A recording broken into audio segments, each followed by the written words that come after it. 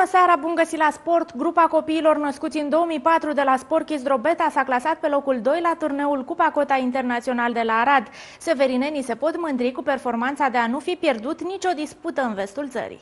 Ediția cu numărul 13 a turneului internațional organizat în fiecare vară la Arad din 2000 încoace a reunit 52 de echipe, din afara granițelor sosind ca și în anii trecuți, grupări din spațiul ex-Iugoslav. Printre participanți a numărat și grupa de copii născuți în anul 2004 de la Sport Kiss Drobeta, care au terminat competiția pe locul secund. Elevii pregătiți de antrenorul Cristian Țigănele au reușit să termine turneul neînvinși. Severineni au avut victorii cu LPS Arad, FCM Recaș și Banatul Timișoara și au terminat la egalitate cu Atletico Arad, UTA Arad și FCM Reșița. A fost foarte grea, dar am luat locul 2 și ne mulțumim și cu locul 2.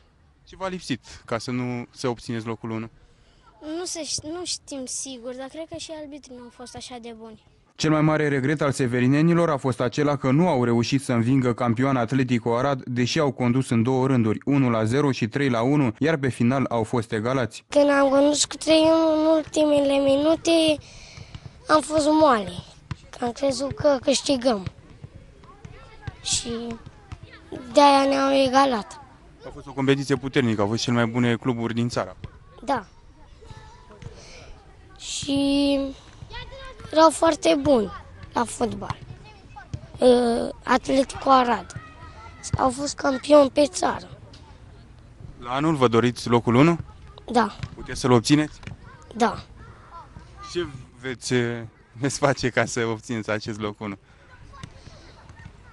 Ne antrenăm foarte bine și luptăm.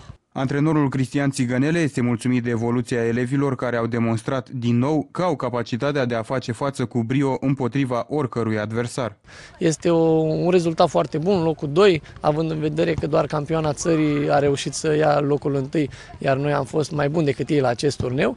Am reușit să-i dominăm la toate capitolele.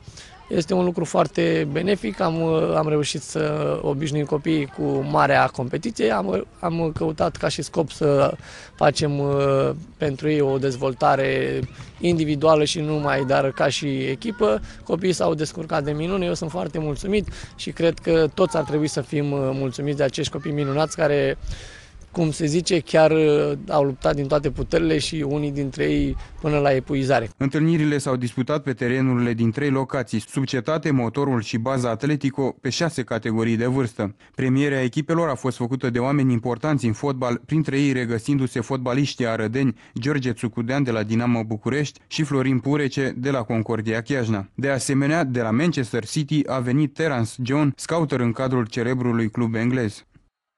Vitrina clubului de judo s-a mai înmulțit considerabil după ultimele rezultate obținute de sportivii de aici. Seferinenii au pus mâna pe 30 de medalii.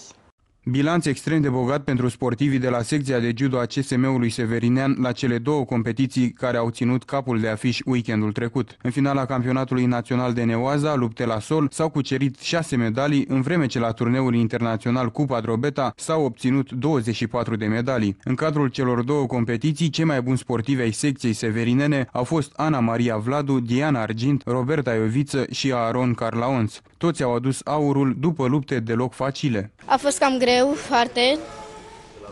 Nu știu, am avut multe meciuri. Multe pe categorie.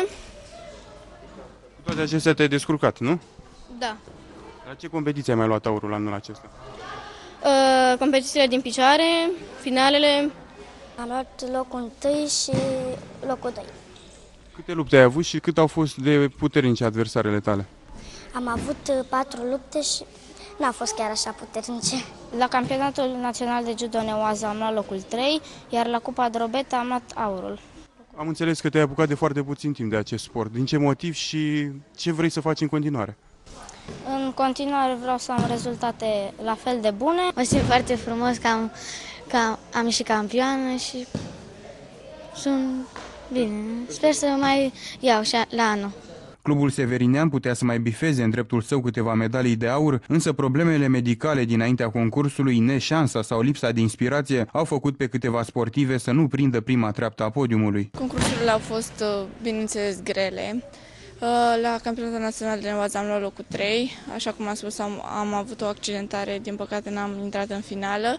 Și la, campionat, uh, la Copa Drobeta am luat locul 2 la vârsta mea și la U18 la cadeți locul 5. Am luat la campionatul național de neoază, am luat argint și la cupă am luat uh, două medalii de bronz. Competiția cum a fost, câți luptători ai avut în... Păi la neoază am, am avut patru meciuri uh, și la cupe am avut uh, 3-4 meciuri, tot așa. Și a fost greu, dar m-am descurcat. Per total, după ce s-a tras linie, antrenorul Gicu Vasilean a concluzionat că evoluția tuturor sportivilor a fost foarte bună și că au îndeplinit obiectivul propus înaintea celor două competiții. Copiii s-au comportat foarte bine. 24 de medalii la, neo, la, campionat, la Cupa Drobeta, la turneul de judo și 6 medalii la campionatul național. Deci un total de 30 de medalii este suficient. Echipa noastră s-a clasat pe locul 4, foarte aproape de locul 3, la clasamentul general. Concursul cu multe aprecieri primite de la participanții din țară și din străinătate, deci una peste alta eu consider că a fost o reușită. La Cupa Drobeta, CSM Pitești s-a impus în clasamentul general, podiumul fiind completat de CSM Ploiești și CSK Sofia. Clubul nostru a ratat podiumul la doar două puncte, având per total 6 medalii de aur, 5 de argint și 13 de bronz. Peste 700 de sportivi din țară și de peste hotare au luptat în cele două zile de concurs.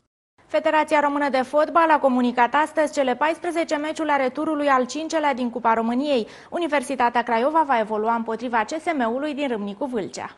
Din această fază intră în competiție și restul echipelor de Liga a doua. În turul 4 al competiției surprizelor, echipa pregătită de Nicolo Napoli a trecut foarte greu în trivale după două reprize de prelungire de SCM Pitești, o formație de Liga a treia. Oltenii vor juca și în acest tur în deplasare, de această dată pe terenul din Râmnicu Vâlcea. Cealaltă reprezentantă a Olteniei, CSU Craiova, va evolua la Chindia Târgoviște. Jocurile vor avea loc marți și miercuri 10-11 septembrie, cu începere de la ora 16.30. Atât din sport pentru astăzi, cu alte știri ne revedem mâine. Sunt Claudia Șontea și vă doresc o seară frumoasă. Mai bine!